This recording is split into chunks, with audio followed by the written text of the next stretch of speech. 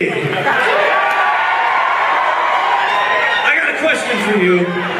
You know what a fucking mosh pit is? I want to see the biggest fucking mosh pit this place has ever seen right fucking now. Let's do it.